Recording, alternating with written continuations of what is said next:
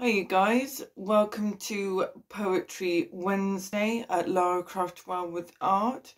Um, I just got water today because um, I just had a cup of coffee with some cake. so yeah, I just got some water today. But obviously grab whatever drink you like, whether it be hot, cold, alcohol, non-alcohol. so today, now I did say I would either read from read my own poems or someone else. But I bought this beautiful book called Chapters in Verse um, by various um, um, poets, um, English poets. Um, and it's basically the whole Bible in poet in poetry form, um, which I thought was really interesting. I've only just I'm gonna um, do a bit of a series actually reading this um, obviously because we're Christmas as well. So I've gone through it. I, I'd say I'm going to start reading it properly, um, which I'm looking forward to. Um, so this one is actually by William Blake. Now I love William Blake as a poet. He done some beautiful poetry. And this is from the Everlasting Gospel. The vision of Christ that thou dost see is my vision's greatest enemy Thine has a great hook nose like thine. Mine has a snub nose like to mine. Thine is a friend of all mankind. Mine speaks in parables to the blind.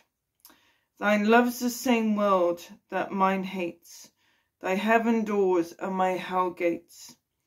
Socrates taught me Meletus loathe, loathe as a nature's bitters um, bitterest curse.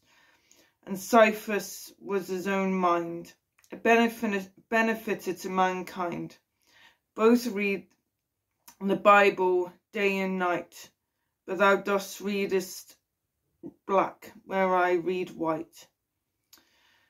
And I think it's almost as though the author is, um, he's comparing almost like the colour black and white and it is so in old English. Um, so thine means like mine, so thine, mine. Um, and um, yeah, so I said there is a bit of old English there, but when if you see thine, um, it usually is an old English word for mine. Um, so yeah, and I've got um, I've got another one here. This is by Laura Jackson, The Virgin. My flesh is at a distance from me, yet approach and touch it. It is near as anyone can come. This vestry stuff is a true relic, though I've never worn it, though I should never be dead.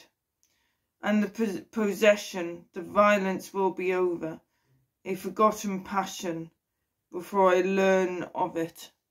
So this is to do with the birth of um, obviously Jesus um, and the sixth angel in Luke. And the sixth and in the sixth month the angel Gabriel was sent from God into a city of Galilee, Galilee named Nazareth to a virgin virgin exposed to a man whose name was Joseph opposed sorry which means married of the house of David and the virgin's name was Mary.